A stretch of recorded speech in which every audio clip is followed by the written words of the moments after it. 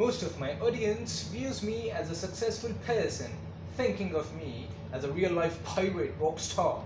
Boy, this guy serves the Navy as a second officer, sailing for six months and tattooing for another six. He must be filthy rich. Barnacles! The truth is, mate, this isn't the Navy, this is Merchant Navy. And the company that I serve is so little that it pays us only peanuts.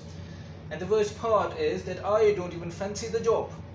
I'm only doing it to make my ends meet because there is no money in tattoo industry, not in India.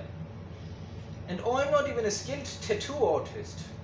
Don't get me wrong though, I could sell you a couple of tattoos and you would not even realize that a better job could have been done by so many other Indian artists out there.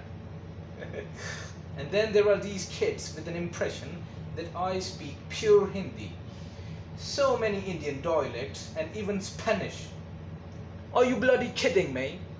I know only few words of Spanish that I spin off every now and then. And if you know about my history, I am a son of Hindi teacher, a nephew of a Hindi teacher, grandson of Sanskrit teacher. My high school ranks amongst top 6 residential schools in India. And yet, half of the words that I speak in my videos, I don't even know the literal meaning of them. That is the reality. Wake up!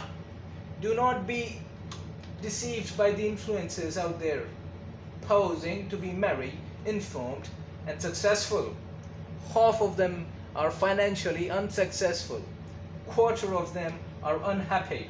Look at me, a classic example of spectacular failure. You might have done blunders. You might have done things you're not proud of. You might have gone through a lot. Do not worry keep doing. We are in the same boat. We are still figuring it out. As long as you are trying, you're doing just fine, mate. Just keep doing. Cheers.